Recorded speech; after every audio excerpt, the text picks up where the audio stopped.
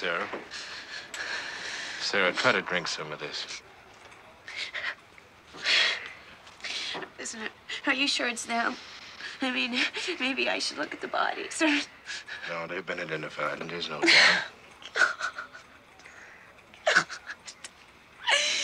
Ginger. Sarah. Sarah, this is Dr. Silberman. Hi, Sarah. I want you to tell him everything that Reese told you. Now, do you feel up to that? Yeah, I guess so. You're a doctor. Criminal psychologist. Is Reese crazy? Well, that's what we're going to find out. So, you're a soldier. Fighting for whom? With the 132nd under Perry, from 21 to 27. That's the year 2027. That's right. And I was assigned to This is recon fucking great. The last two years under John Connor.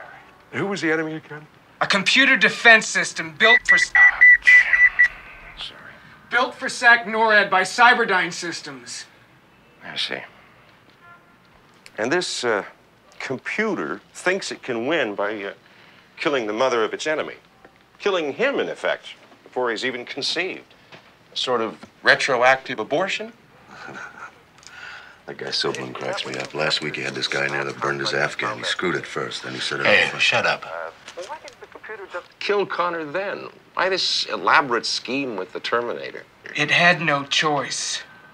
Their defense grid was smashed. We'd won.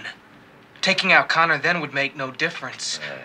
Skynet had to wipe out his entire existence. Is that when you captured the lab complex and found that, um, what is it called? Uh, the time displacement equipment? That's right. The Terminator had already gone through. Connor sent me to intercept, and they blew the whole place. Well, how are you supposed to get back?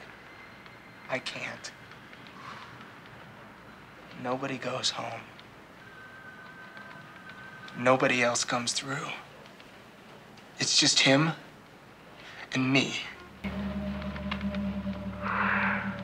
Why didn't you bring any weapons? Something more advanced?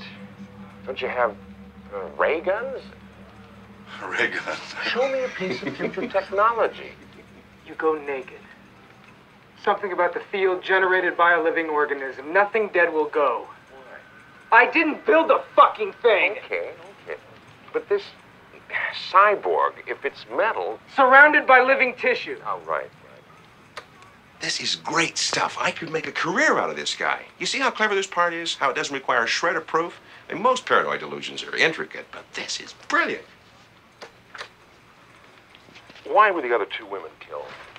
Most of the records were lost in the war. Skynet knew almost nothing about Connor's mother.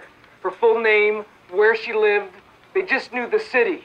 The Terminator was just being systematic. Uh-huh. Well, let's go back to one other Look, thing. you have heard enough. I have answered your questions. Now I have to see Sarah Connor. I'm afraid that's not up to me. Why am I talking to you? Because I Who is an authority here? Please. Shut up! You still don't get it, do you? He'll find her. That's what he does. That's all he does. You can't stop him.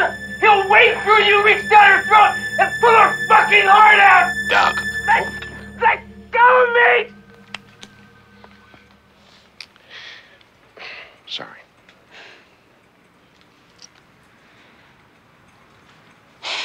So Reese is crazy? In technical terminology, he's a loon.